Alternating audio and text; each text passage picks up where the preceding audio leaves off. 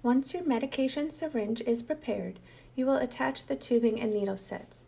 To do so, remove the sterile caps from the end of the Precision Flow Rate tubing set and the HIgH-Flo subcutaneous needle set and connect, using care not to touch the connector ends. Then, remove the sterile cap from the luer disc end of the Precision tubing set and connect to the medication syringe. For patient safety, the luer disc ensures that the syringe and its tubing stay securely in place within the syringe driver. If using the Freedom 60, note that if you accidentally connect the HIgH-Flo needle set directly to the syringe without the precision tubing, the syringe will not stay in place and may eject from the syringe driver.